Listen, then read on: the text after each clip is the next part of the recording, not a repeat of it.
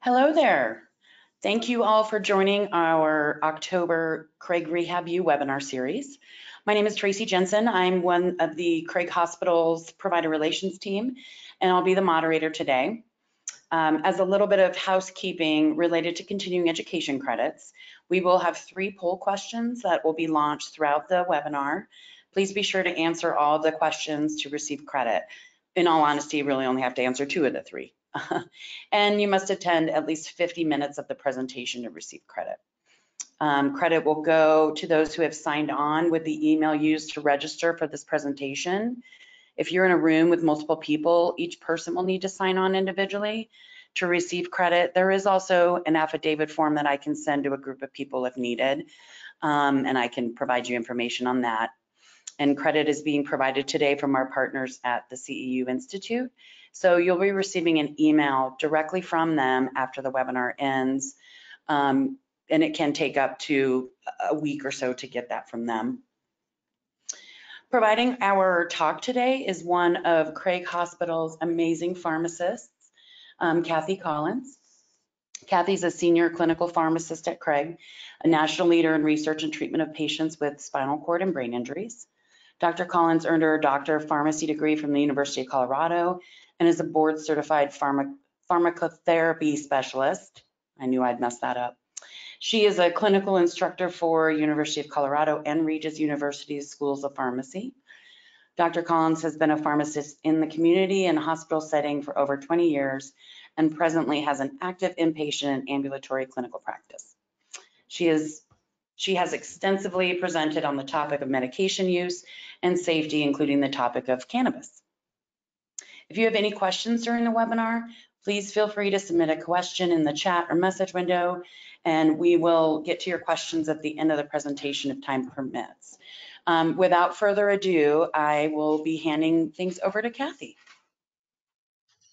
Hey, good morning, and thanks so much for joining us today. Um, we're talking about um, medical marijuana today, which is not a new topic.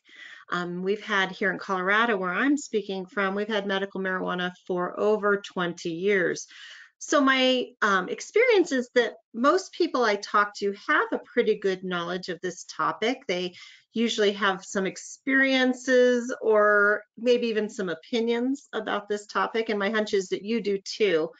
What I've found is that our patients have these opinions and experiences um, and knowledge of this topic, but what's missing is the interplay with us as providers with our patients. Having those balanced risk versus benefit discussions on this topic of marijuana like we would do with other topics. So my overarching goal for us today is just to provide enough information to you um, to where you feel really comfortable initiating these conversations with the patients that you encounter. So let's start by kind of looking at the landscape of the world right now. Um, I always like to show this map of the United States, and it just, it's looking pretty green, which to me makes us have to change the way we talk about subjects like marijuana because this is not an illicit substance. This is very legal in most of the country.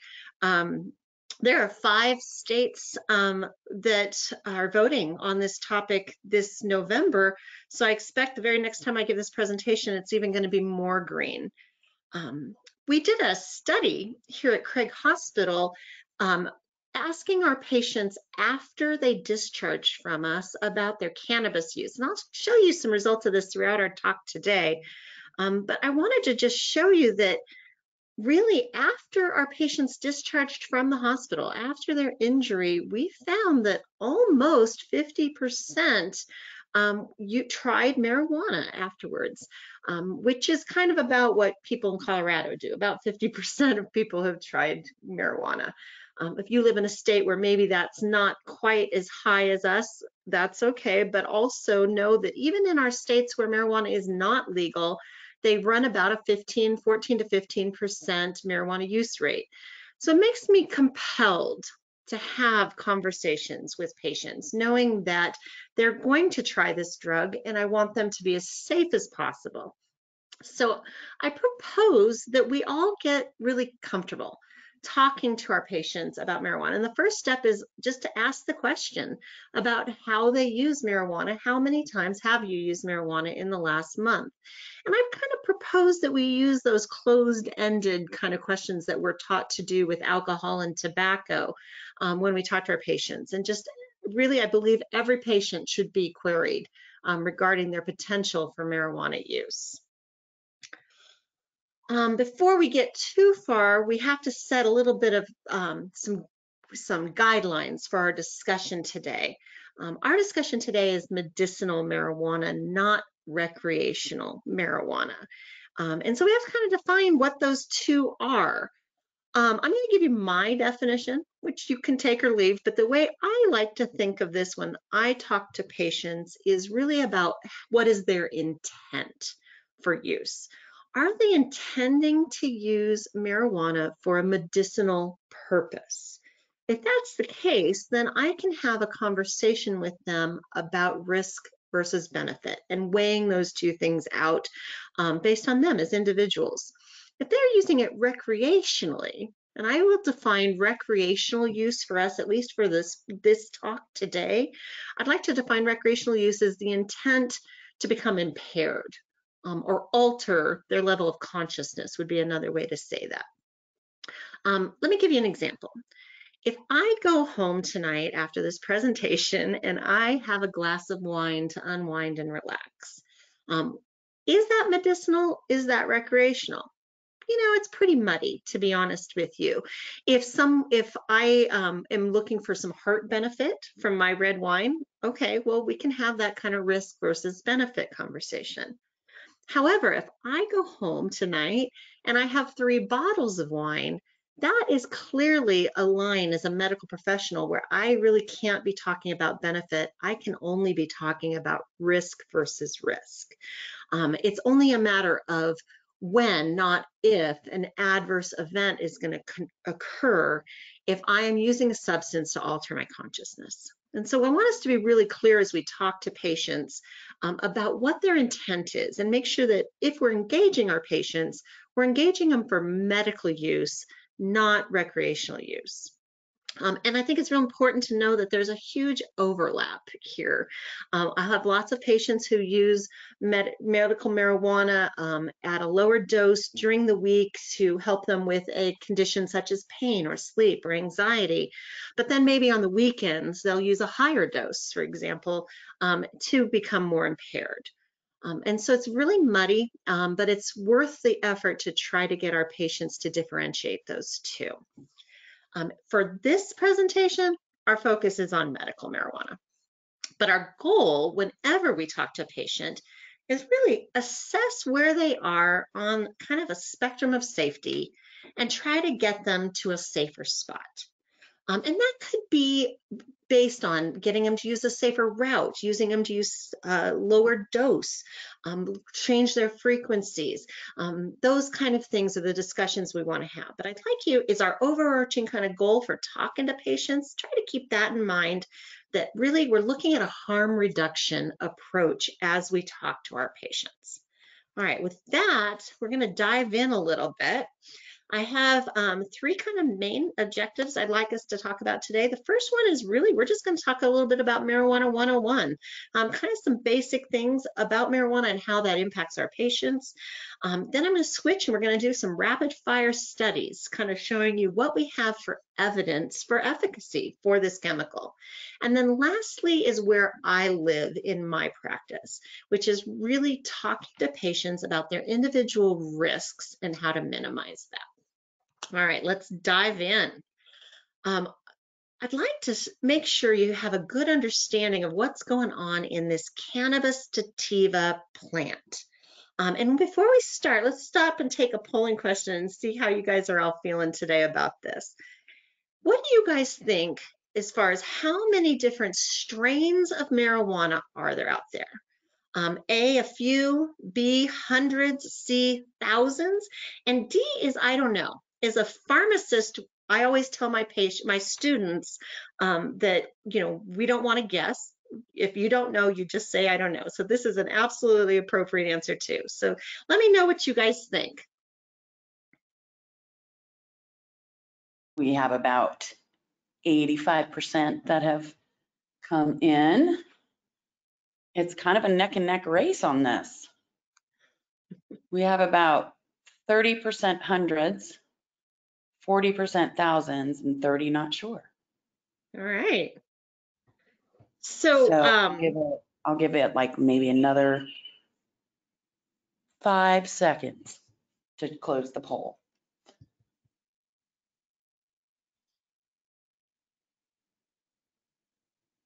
Looks like thousands is winning out, Kathy. Mhm. So I put the reference that I used on on the slide here, which is leafly.com. Now, I'm going to encourage all of you to not look at this website on your employer's um, network. Uh, make sure you do this at home because in my employer, this is actually a blocked website. Um, there are about three different species of marijuana. We'll talk about that in a little bit. Scientists say that there are about 700 strains of marijuana. However, if you go on leafly.com today, there are 3,500 plus um, different hybrids of all of those strains. So I think the answer is I don't know. Um, it seems like they're making lots and lots of different hybrids all the time. Um, but let's dive in a little bit more and talk about how those might impact a patient. So the main thing for you guys to take home about this cannabis sativa plant is just what a complicated organism it is. Um, it has over 100, last number I heard was 113 different cannabinoids. So cannabinoid is a chemical that has activity in the cannabinoid system in our body. The cannabinoid system is just a system of receptor sites that are responsible for upregulation and downregulation of neurotransmitters, um, similar to many other sites within our body, upregulating things like norepinephrine and adenosine, um, things that we are used to having pharmaceutical targets um, to manipulate. Uh, We talk a lot about the two cannabinoids, THC, 9-delta delta tetrahydrodiol. Um, I said that wrong, excuse me. Um, and then cannabidiol, CBD. So THC and CBD are the two we talk about a lot.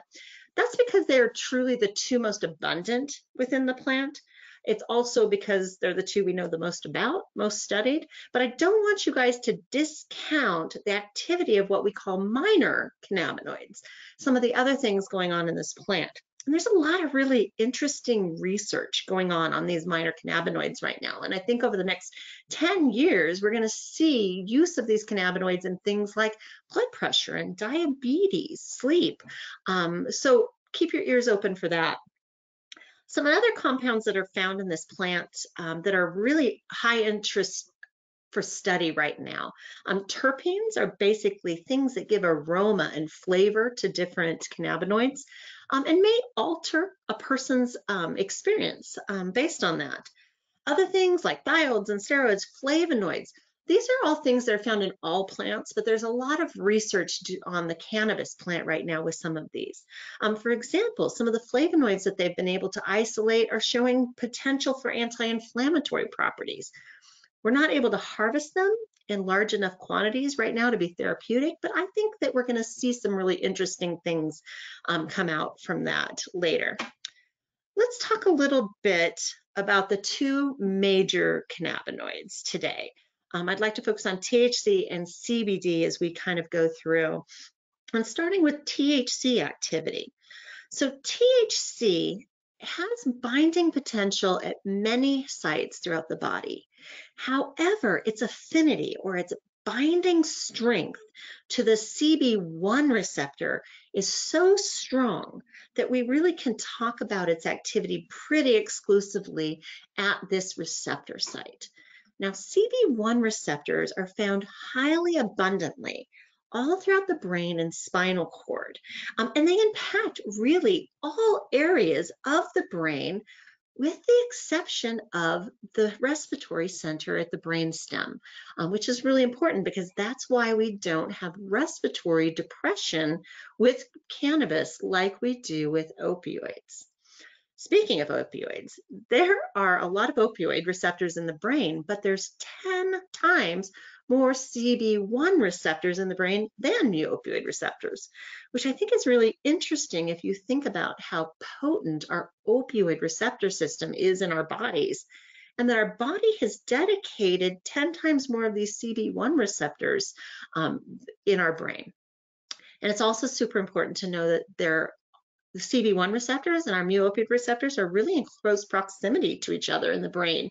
And we believe there is some interplay between them, which may partially explain why THC has some pain relieving properties. We'll talk a little bit about those studies later. So let's contrast this with CBD.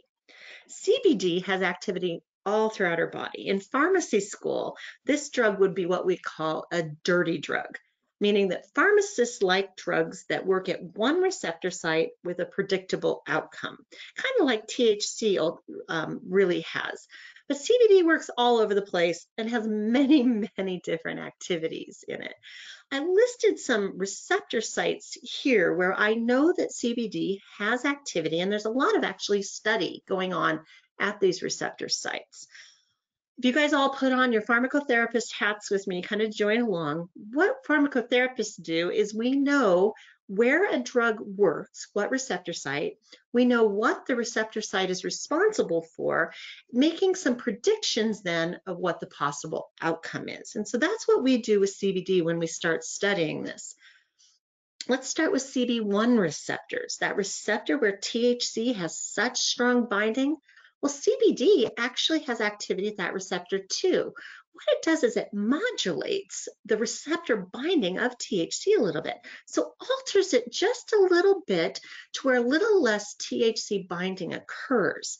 This may partially explain why when CBD is given with THC, there seems to be a little less of the psychoactivity from THC. We also know that it can partially occlude that receptor site and keep other drugs from binding there exclusively. There's another receptor called CB2 receptors that's found within our periphery, but also on some of our immune cells, our beta cells or B cells. What we know here is that CBD, CBD's binding at the CB2 receptor is that ultimately there's a reduced immune response. Now, that's not a good thing if you're fighting an acute illness. But if you have a chronic autoimmune disease like arthritis, a decreased immune response that translates to in decreased inflammation may be a positive outcome. Other receptor sites on here, I'm just going to breeze through real quick. The G protein coupled receptor site 55. This is where CBD has activity to prevent seizures, which is super important. And we'll talk about that again a little bit later. But also we know that this particular receptor site is involved in functions for vasodilation, lowering blood pressure, for example. Um, and again, anti-inflammatory effects. 5-HT1A, that is a type of serotonin receptor. People report that they have less anxiety with CBD, and this may partially explain that. Again, this is an area, current area that's being studied. Other things, the TRPV, that's called a vanilloid receptor, which is involved in pain responses. Adenosine receptors are involved in muscle contraction and anti-inflammatory responses.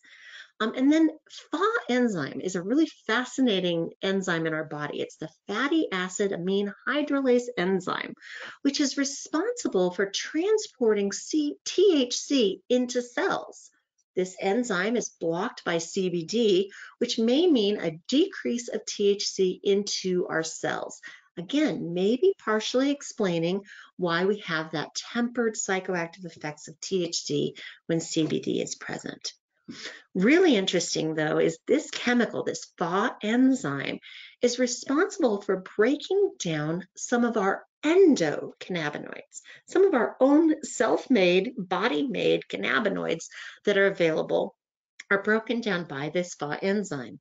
CBD blocks that FA enzyme and the end result is more of our own cannabinoids. When you read studies for the use of CBD, Across the board, people talk about using CBD for a sense of well-being. that may partially be explained by the rise in our own cannabinoids um, that our body makes. All right.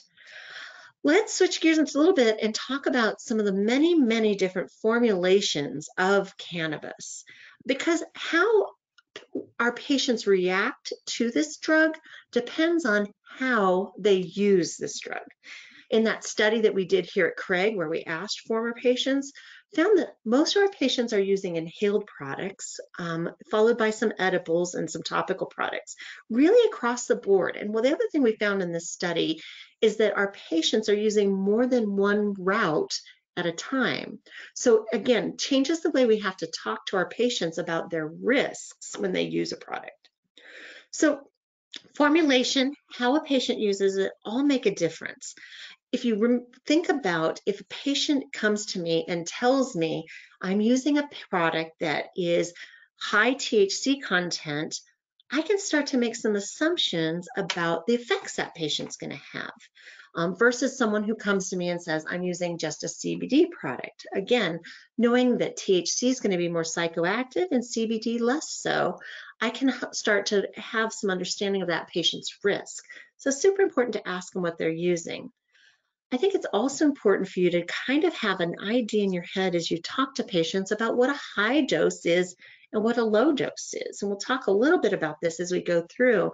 But if someone comes to me and they're taking a 40% THC inhaled product, my assumptions are that they're going for a very fast onset. Inhaled products have a very fast onset. They're going for a high dose, and impairment may be some a possible side effect of that. If someone comes to me and they say they're using a five milligram edible product, I can say, well, that's a lower dose that they probably aren't going for a big impact on their impairment, on the impairment scale. We'll talk a little bit about high and low as we keep going.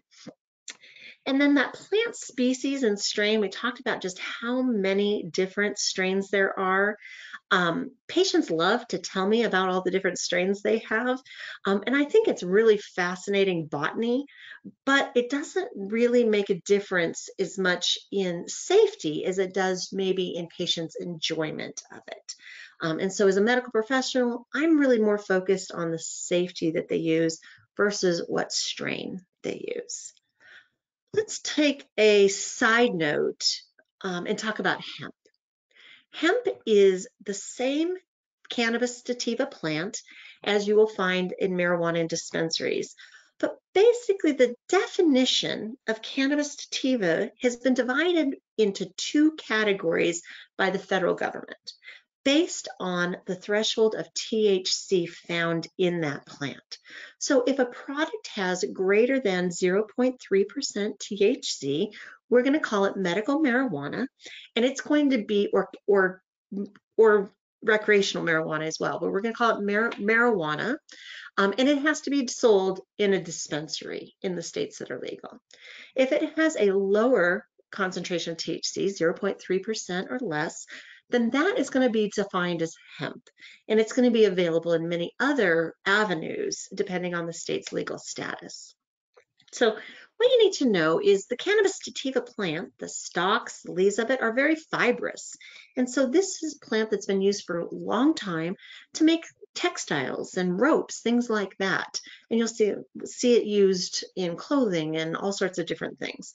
The plant oils will be found in lotions and things like that. The seeds, a great source of fiber if you sprinkle those on your salad. But also, now that we've removed most of the THC in this chemi in this compound, CBD is now the most abundant cannabinoid. And hemp is a very good source for CBD that avoids a lot of the regulatory um, loop, you know, jumping through hoops that has to be done if it was classified as marijuana.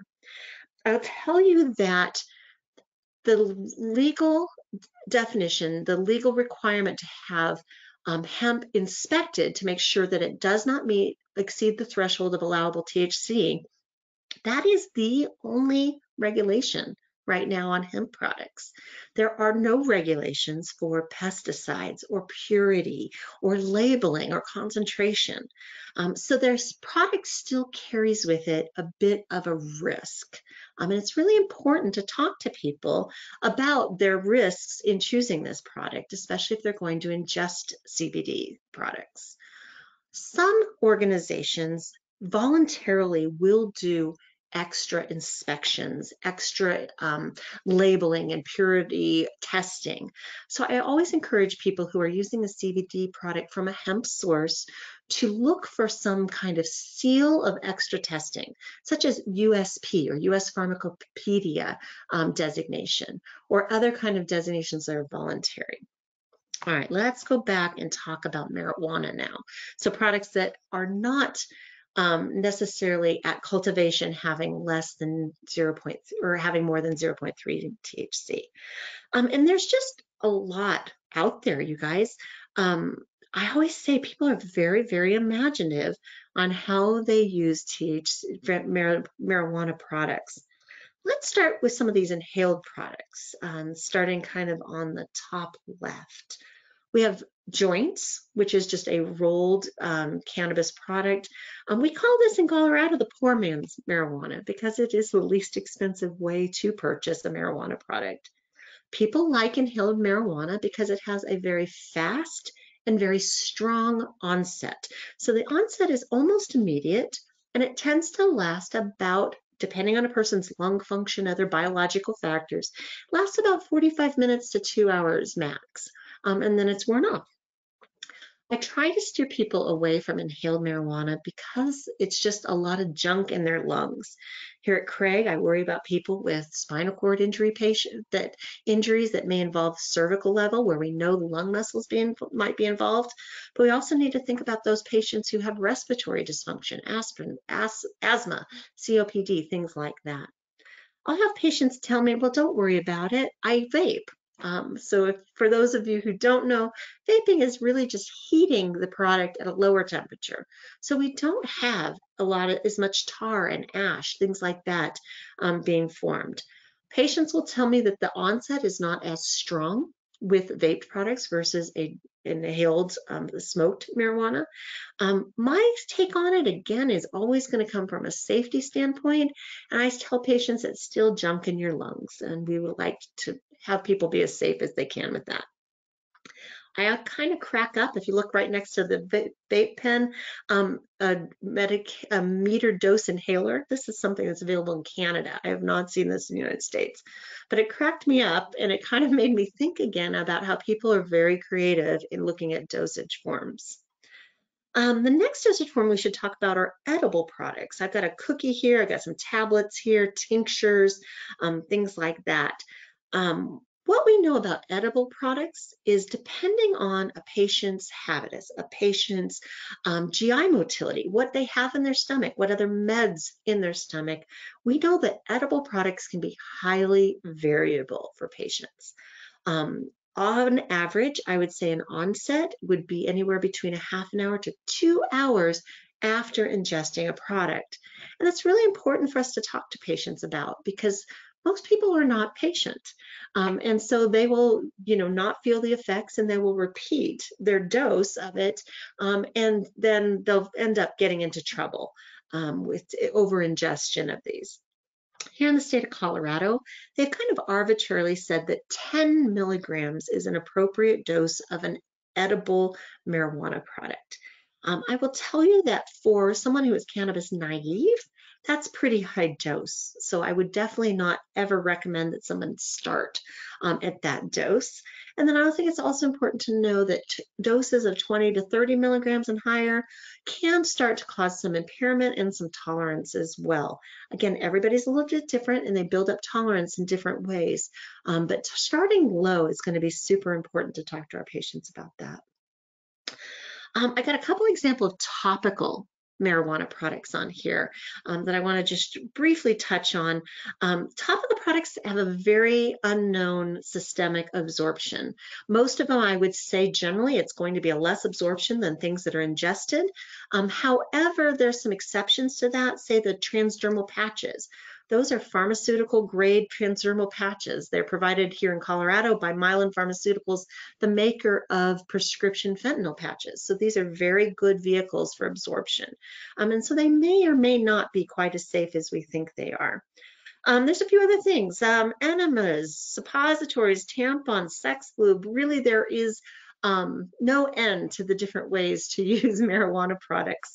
Um, but I want to just draw your attention to the bottom left-hand corner, which is intravenous marijuana. Um, and um, this is growing in prevalence. Um, we're seeing this where people are looking for ways for stronger, more potent highs um, with their marijuana. So as we talk about marijuana from a medicinal standpoint, I think it's very good for people to keep in mind that for some patients, marijuana is still is a drug of abuse. Um, and we need to be having those conversations with our patients as well. All right. Um, just as far as a little bit, again, marijuana basics, marijuana testing is a very gray area. Um, right now, I don't think we've done a great job of um, figuring out a way to appropriately test patients for impairment. We know that um, the only way to detect a recent exposure is through blood and saliva. There's a lot of companies who are producing um, some like roadside kind of products, but none that have been accepted, widely accepted yet. Um, at this point, impairment is hard for us to determine because everyone has a different tolerance level. So it's hard to determine a cutoff for that. I would argue that that is also the case with alcohol. And at some point, we just made that choice and that decision. I think there's a bigger lobby for marijuana right now. And so it's a little harder for us to um, have that clearly defined. All right, we're going to go fast and furious in this next section. So I ask all of you to hold on tight. I'd like to show you different studies that are out there for use of marijuana. But as we talk about the studies, I'd like you guys to keep in the back of your mind that thousands of different types of hybrids of marijuana that are out there. Because as we talk about studies, the products out there are so highly variable. The different strains, the different hybrids, the different formulations, the different doses it is impossible for us to generalize the results from any study to what your patient may be using. And so I think it's super important. Um, let's do another polling question. Let's see how we're doing. Um, I want to test, see, see what you basically what you guys know about um, what's FDA approved right now. Um, do you think FDA cannabis is FDA approved for the treatment of cancer-related pain syndrome, tuberous sclerosis complex, narrow angle glaucoma, or again, I don't know is always a valid answer. What do you guys think?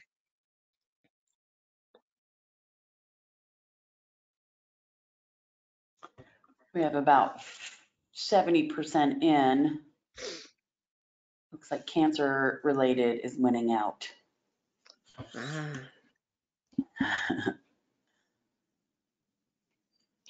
I'll give, keep that poll up about another couple seconds.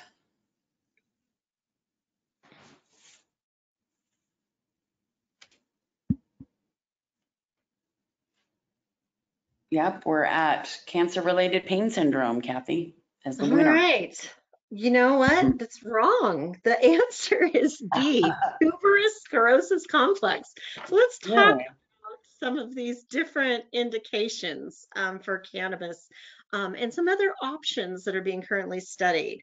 Um, before we get too into it, let's talk about patient-specific um, goals um, first. Um, that study again that we did here at Craig Hospital, if you look at the reasons people use marijuana for after their very traumatic injuries where they had treatment here at Craig for, um, pain, spasticity are very high on there, sleep, stress, anxiety, and then recreational um, is really the most prevalent on there. So again, helping our patients separate out recreational um, and then and trying to focus on these um, medical indications. You can see from my graph that people use, there's a great overlap. People use them for more than one reason. When I talk to a patient about their use of marijuana, remember my first step was ask who's using it. My second step, ask what they're using. and my third step is really ask them what is their goal um, for using marijuana. It helps guide my conversations. I'm not going to talk about anxiety if their goal is for spasticity. Um, so it helps certainly narrow down my conversation, but also it helps me understand if their goal is reasonable. If I have someone who's saying I'm using marijuana to help me walk again after a complete spinal cord injury, well, our conversation is going to look very, very different than someone who's saying I want to use it to help sleep, right? Um, I had a brain injury patient recently. When I asked him his goal, he said it was to forget that he had a brain injury. You know, that is hard. You know, that is a tough, tough one. Um, but getting people to think about cannabis and marijuana use from a medicinal standpoint is really our goal for here. And then if it's for medicinal use, we don't put anybody on any therapy, medicinal or ther physical therapy, occupational therapy, without assessing how it's working, right? Um, and so that's a real important point is talking to people about how are they going to assess this goal? If they're using it for sleep, I'm like, well, pull out your smartphone, pull out your Fitbit, let's measure your sleep. If it's for pain, then what are the activities of daily living that we are going to measure that are going to help us understand if your pain is better? Um, and then honestly, if it's not meeting that goal, we shouldn't keep doing it. Um, and then lastly, I really want to talk about what are the other things we're missing if people are using this as a medicinal target, what else are we missing? Um, an example, I had a younger kid who was have, with a spinal cord injury. He was having significant neuropathic pain shooting down his back through his hips and legs.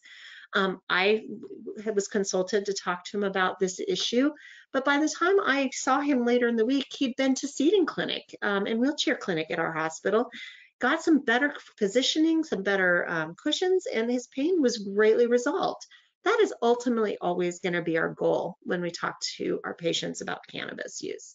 Um, but let's dive into a little bit other things. Um, let's start with talking about those FDA approved cannabis products.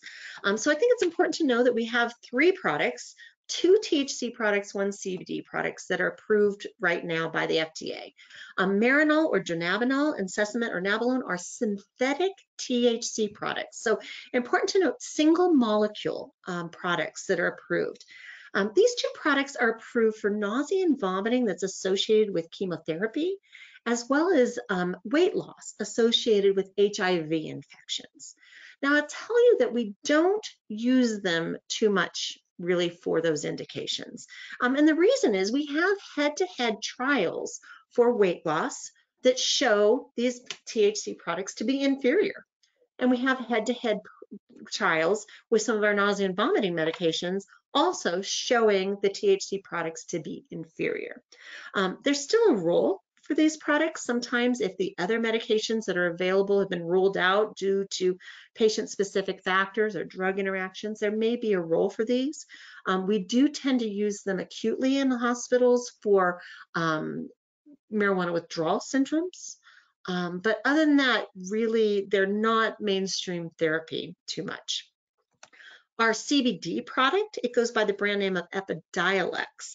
And this is where it is approved for tuberous sclerosis complex, which is a very rare childhood treatment resistant seizure disorder. Um, that and Dravet syndrome and Lennox-Gastaut syndrome. Um, you will see these products used for these three um, seizure disorders. The things you need to know about it um, is that this is an adjunct treatment. Um, the people, the patients who were in the Dravet and the Lennox-Gastaut um, studies were on an average of three other seizure medications and tuberous sclerosis complex, they were on five other medications on average. Um, but there was a dose-related response that was quite significant um, that was helpful to these children who just really had no other options. A few things I will tell you is at the end of the 18 month studies of looking at these seizure disorders, seizure frequency was increasing. Um, the FDA asked the manufacturer to extend their studies and they declined. And we see that in practice where it does seem to be a time limited response to that. Um, some other things you need to know is there's some significant drug interactions um, with this, with CBD and other seizure medications um, that really cause liver toxicity. So serial liver monitoring is important um, as well as monitoring for those drug interactions. All right, let's move on to the non FDA approved indications. So you all kind of were thinking about cancer pain, um, and that makes sense because I feel like that is one of the um, most um, most used um, reason, most the reason most people do use pain um, when we look at studies. Um, I wanted to show you kind of what I consider one of the better studies that was looking at pain. This was non-cancer pain, but this was a study that looked at thousands and thousands of patients with chronic pain syndromes. Um, and they looked back um, it, this is a meta-analysis and systematic review where they just looked at lots and lots of studies and did some statistical analysis to determine. Um, they used a threshold of a 30% pain response, which is a very good threshold to use. That's the FDA um, approved for all pain studies. That's the threshold the FDA requires. And what they found is there was a decrease in pain. 29% um, of people who used cannabis had a reduction in pain versus about 26 of people of people who use placebo. So what I see here is there's something there. However, the effect size is only about 3%, um, so pretty small. Um, when they looked at studies that had a numeric scale, um, they found that there was about a 3% reduction in pain overall. Um, number needed to treat was 24, number needed to harm was six, and their conclusion is that it really isn't all that likely that this would be response would be helpful for chronic pain. Now, I want to just give a little background information on this.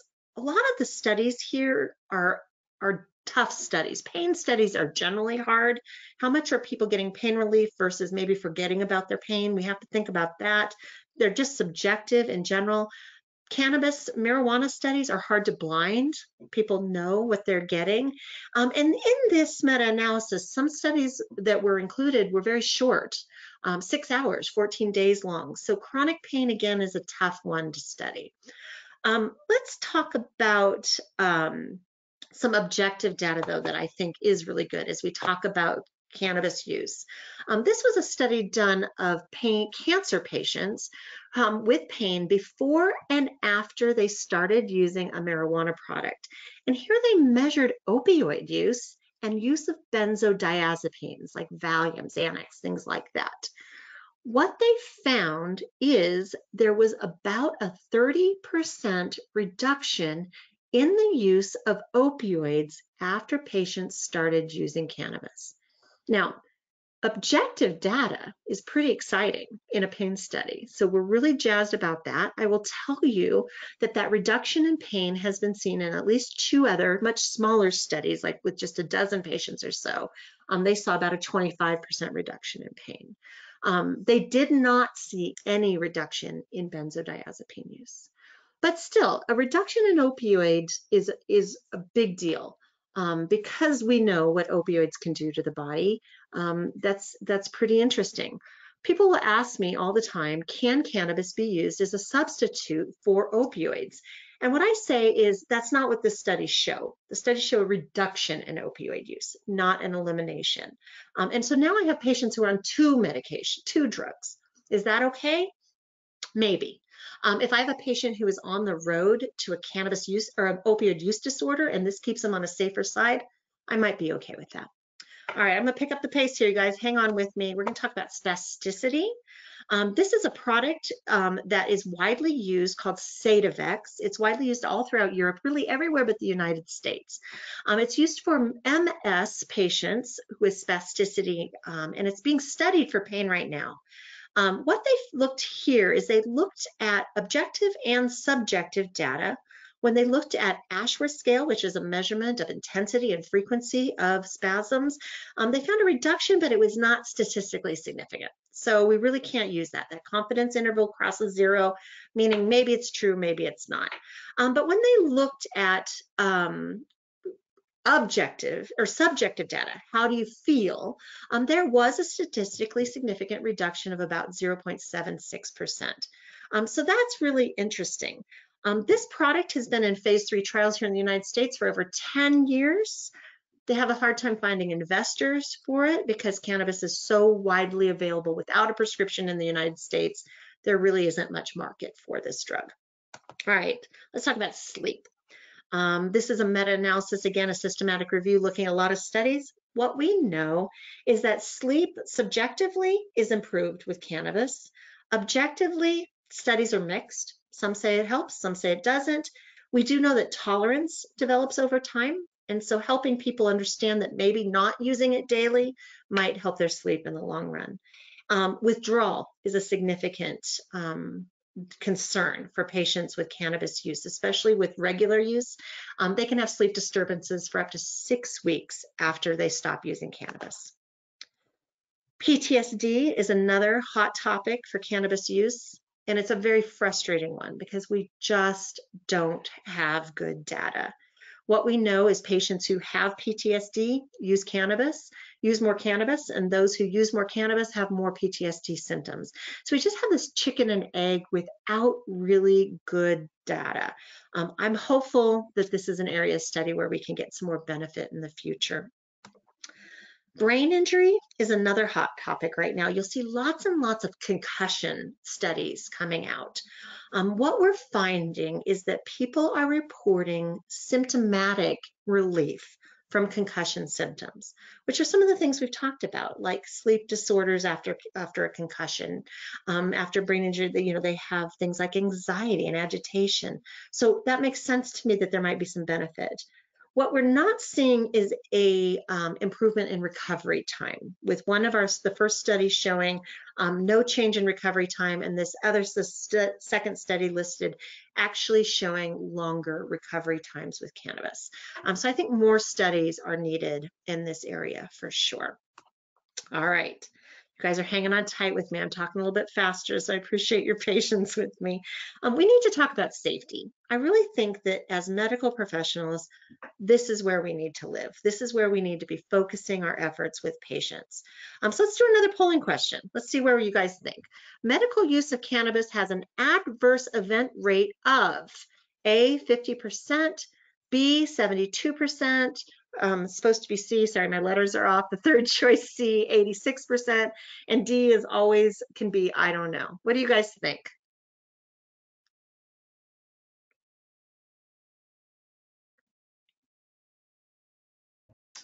We look, it looks like right now we've got about 50% the A, A, All right.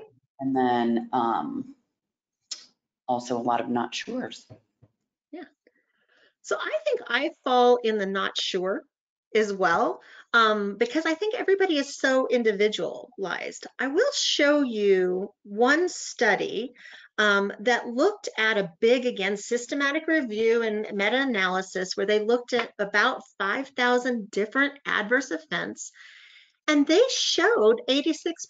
So a risk risk um, rate of 1.86, so about 86% increase in their risk of having an adverse event. Um, this is just one study. I think every study I see has a different rate. Um, but I think what's important to note is while you have a much greater risk of having an adverse event, that in this study, they showed patients who used marijuana for a medicinal use used lower doses, and the adverse events that did occur were mostly very mild. So dizziness, drowsiness, UTI, things like that. Um, and so I think that's really important for us to keep in mind as we talk to patients about our medicinal versus recreational use and about dosing and keeping their doses lower, that if they do have an adverse event, they will be in a much safer place if they use those lower doses. Um, this chart you know, just kind of summarizes a lot of the adverse events that we know are possible with cannabis use.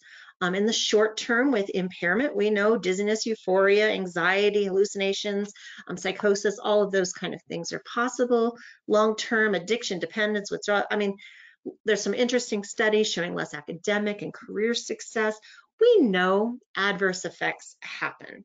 Um, what we want to focus on is how are we going to talk to our patients, to make sure that they are being as safe as possible. So I would never share this type of information with a patient. What I want to do is ask my patient what their specific individual risk is.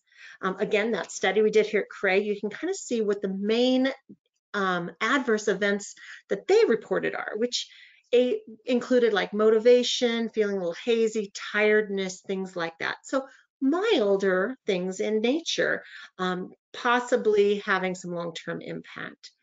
Again, I ask patient what their perceived negatives are because I want to know what's specific to them. Is it falls? Is it um, concerns? I had one patient was concerned for driving his kids to school. Um, then I can have some really specific conversations with our patients on that. Um, I want to know, are these, what are the negatives to balance out with their positives? What are the risks associated their individual this patient that I can then help them balance out with those goals that they had as individuals as well.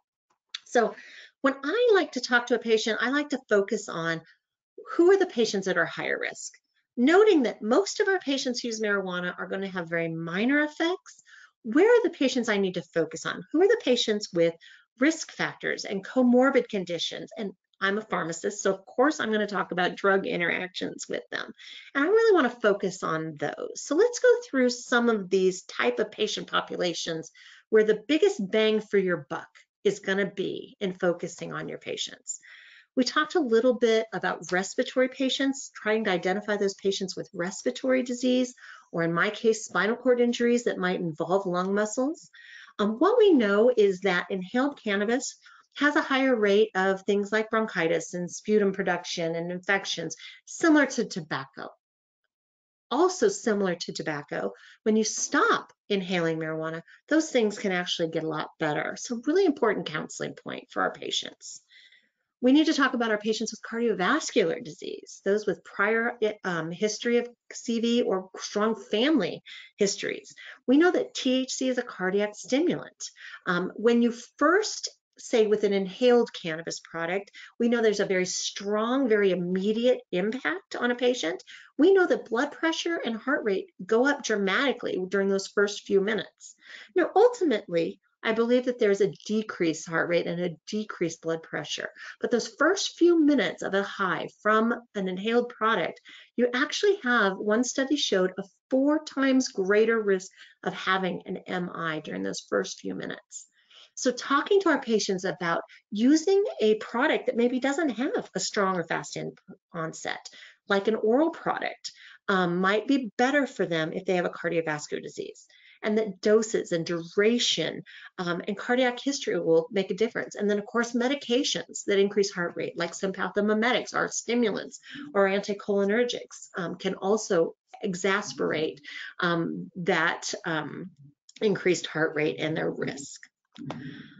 Mental health, I think, is another big population we have to focus on. Our patients with um, mental health diseases, we know that memory and cognition can be affected by cannabis, but also we know that there's an association with cannabis and anxiety and depression. Um, this first study by Patton in 2002 was in teenagers, and it was a great study in that they isolated out um, com any confounders that could be contributing, like family dynamics and socioeconomic status, um, academic success, and they found cannabis to be an independent factor. We also know dependence can occur with cannabis. If patients are using it now and then, the actual the dependence low, level is pretty low. But as they become more frequent users, daily users in this particular study, the dependence rate gets up towards where nicotine is at 50%. Um, we also need to think about the link with cannabis and psychosis. Um, we know there was a study done by Marconi in 2016 where he did again a meta-analysis and what he did is he stratified cannabis use into kind of the low medium high. He didn't tell us what those values actually meant but kind of just made these categories. In the people who were the heavier users of cannabis every single study showed an association with psychosis and there's also an interesting dynamic between marijuana use and schizophrenia. Um, there doesn't appear to be more cases of schizophrenia as cannabis increases. However, if someone is predisposed to schizophrenia, so has a strong family history or may have eh, developed that regardless, we know that the onset is stronger and the symptoms are worse in patients who also use cannabis. So again, a patient population we really need to be focused on. I think in our brain injury patient, we really need to talk about patients' risk for stroke. Um, an interesting study showing nearly 2.5 times likely to, ha to have a stroke if you're a cannabis user versus a non-cannabis user. And this was interesting because this was not the daily users, what we would consider more heavy users. This was 10 days per month. Um, really important to know that younger adults, those people who are in um, the age group of 18 to 35 showed again almost a two times higher rate of having a stroke. And then really interesting, they also showed an association with marijuana users, those younger patients, 35 and younger, on having secondary strokes. So something we really need to be talking to our patients right now, um, our stroke patients about their risk moving forward. Pregnancy is another really sensitive area that I think we need to focus our, our attention on. We know that cannabis use has gone up in all patient populations, and our pregnant women, it's no different from that. Um, we did this really interesting study here in Colorado where they called dispensaries, said, I'm pregnant, I'm having morning sickness, what should I do? And almost 70% of people recommended marijuana use to these pregnant patients, um, with only about a third of them also saying talk to your doctor. So we have this perception of it being safe for our pregnant women. Um, but let's talk about what we do know.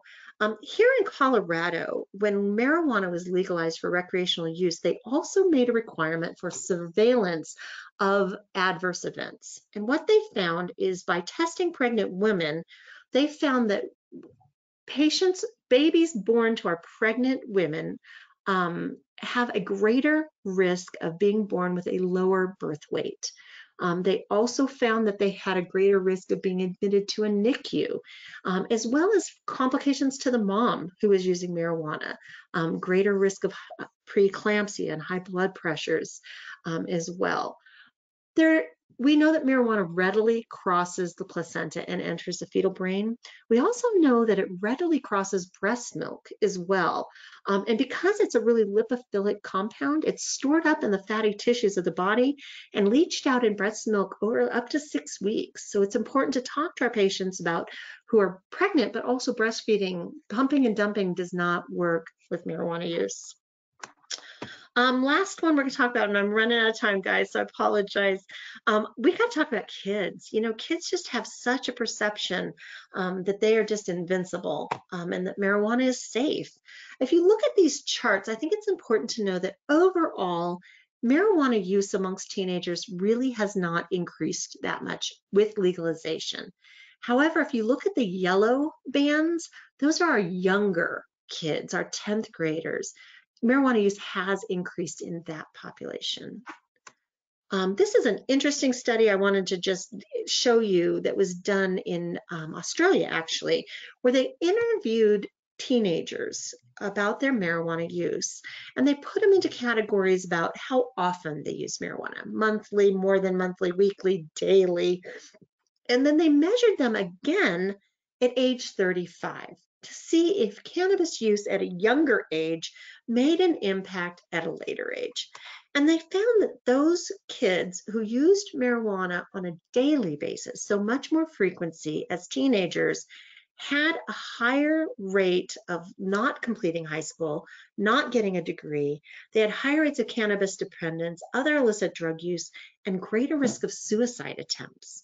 Now, I think we have a little bit of a chicken and egg situation here as far as cannabis use, um, which came first. Um, you know, it's just really the most accessible compound. So is that really a factor? And I think that's still to be teased out um, from studies.